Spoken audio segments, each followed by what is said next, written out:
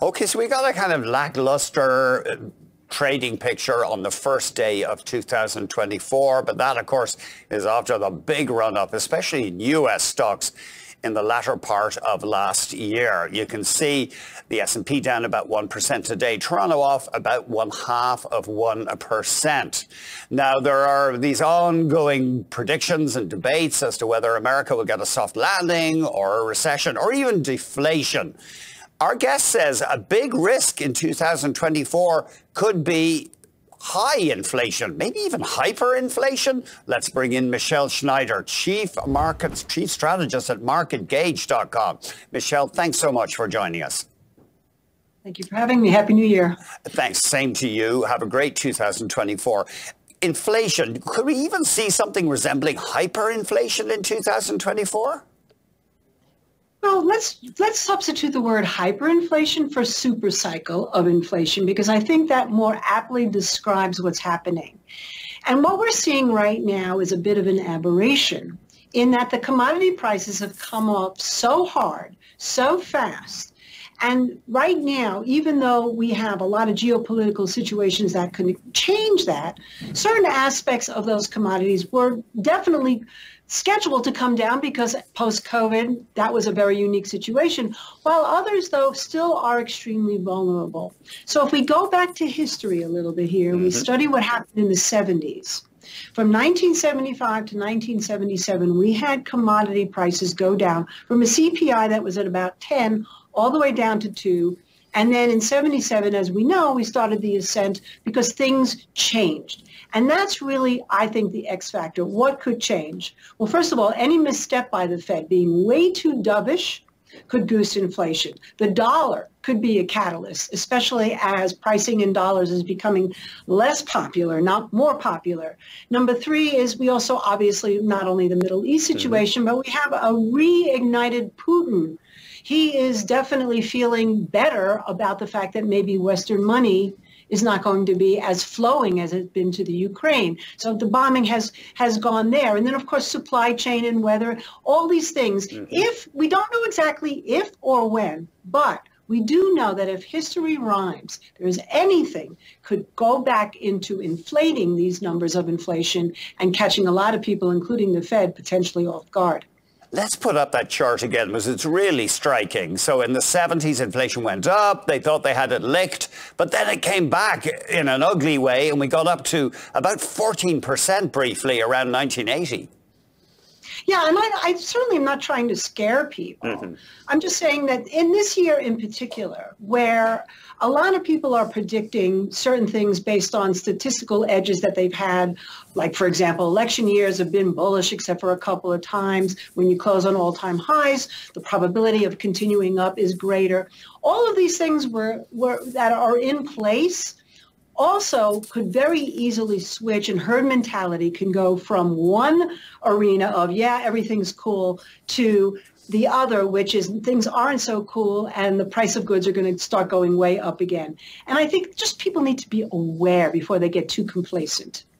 What about gold, Michele? Uh, presumably, uh, if heaven forbid we get a return to high inflation, well, will that be good for gold? It's never simple, is it? Because it would tend to push up interest rates as well.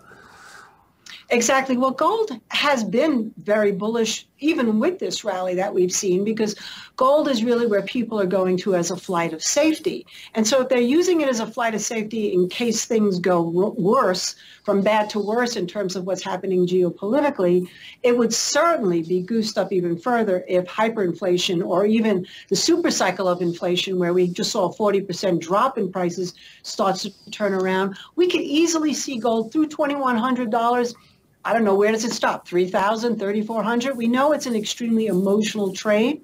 But one thing I will say is that's not the only hedge anymore with Bitcoin.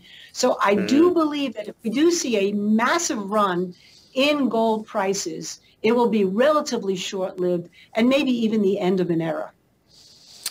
That's interesting. So enjoy it while you can is your message to the gold bulls. Yeah, yeah. A good message for life in general, I guess. Um, basic metals. Um, there's an ETF, for example, that trades on the TSX XME. What is your take, though, on these basic industrial metals? Well, and this is where the, the inflation narrative is so confusing, it, it, or I should say complicated, because we know that there are shortages of copper. We're seeing a huge run in, obviously, in uranium. But even steel, uh, aluminum, tin, some of these industrial metals have not come down in price very much while we're going through our disinflation period. And a lot of them are needed not just for basic EVs and things like that, but for infrastructure. And China, which of course now is stating more demand as they start to inflate their own economy with QE, all of these could put further upward pr- price pressures in these industrial metals. And XME, as long as it holds kind of where it's been trading between, let's say, 58 and $60 a share, that could mean that that could go much higher uh, along with as all the things we just laid out, the possibility of inflation coming back. One stock that's on your radar is AbbVie, the pharmaceutical player. Now, uh, you think it fits a couple of themes. Pharma, obviously demographics is uh, an advantage there, but also cannabis. I didn't know AbbVie had put its toe in there. Well, that's one of the things that got me really interested in the company. They're using medical cannabis, so uh, and they're using it in their own research. And so that kind of got me thinking that if you're getting a big pharma company like them to uh, possibly put pressure on the government to mm-hmm. end not only the fact that it's not federally legal, but also some of the uh, interbanking situations that we have that also is illegal. That would be interesting because we know lobbyists can be very powerful. Um, but the other reason why I like AbbVie actually has nothing to do with cannabis. I also found out that in terms of the um, cosmetic space, they are the ones that make a lot of the fillers. And I think this year we may see a switch from all about we, you know, we being we took care of our family, we, we traveled more, we ate out more, to all about me, where people say, you know what, this year I want to feel better about myself.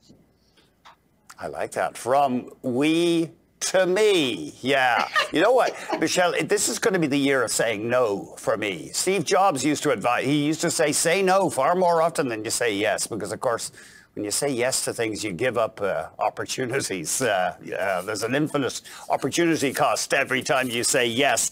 Um, one last idea um, here, solar. The solar stocks, of course, have been hurt. We've seen soaring insulation costs. It's harder to finance projects. Do you see any kind of a turnaround for the solar industry this year? I do believe that from an environmental standpoint, we could see them come back to life this year. So we've been watching stocks like First Solar, TAN, which is the ETF in solar. It does seem also that the current government, and especially as we're getting into this election year, are very pro uh, solar energy and alternative energy. So again, these are the areas to watch. Uh, obviously, you always have to know risk factors when you get involved in anything, mm-hmm. but I do see it making a comeback and not necessarily traditional energy as so many people are predicting.